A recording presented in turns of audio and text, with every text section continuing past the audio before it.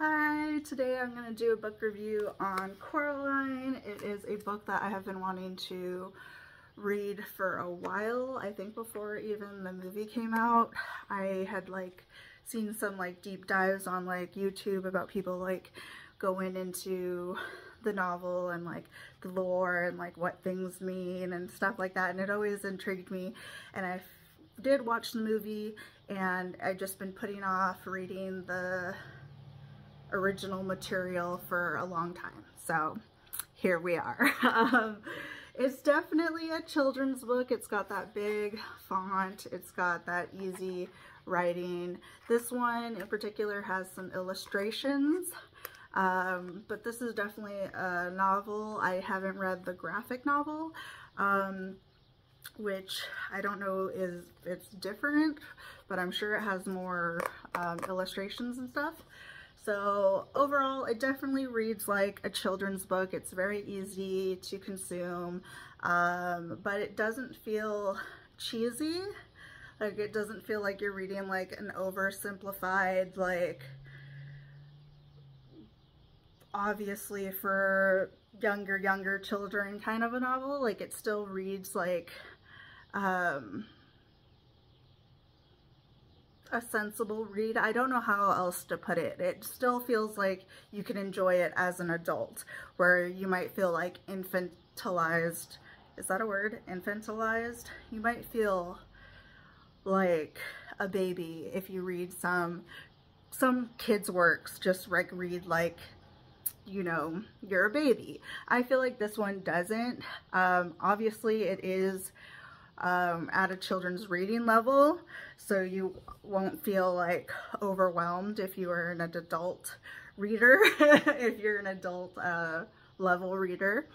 Um, but there were just so many like creepy like things that like I'm not even sure like a child would pick up on and if you're like a lore lover and you like love like extra storyline like hidden behind the main storyline that you feel like there's something extra here like there's a deeper narrative. That's what this provides for sure. And like I said I'm not sure like a child might pick up on that at least not in the first read. So I feel like it's this beautiful like mix between like a children's book and like also elevated reading that would like help elevate a child's um, mental gymnastics to get them to think a little bit deeper than just a surface level story that a lot of children's books tend to be. So yeah, there's just a lot of creepiness here. There's a lot of like story behind the story, which I feel like Neil Gaiman is really great at doing.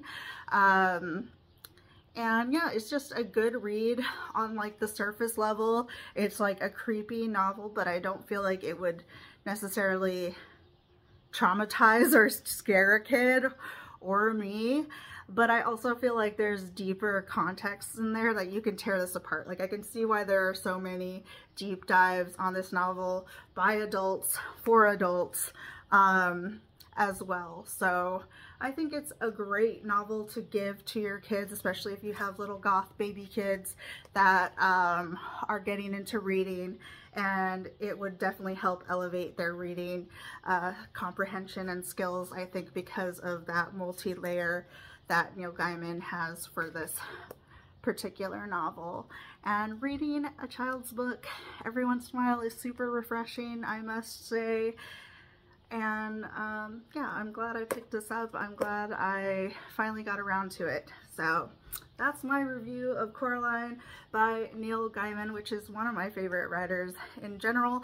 It's nice to see that he's just as good at writing children's novels as he is his adult novels. So um, yeah, if you've been thinking about picking it up, pick it up. If you have already, tell me your favorite parts, tell me your favorite nuances, um, any theories. I would love to hear them. So thank you for your time. Bye.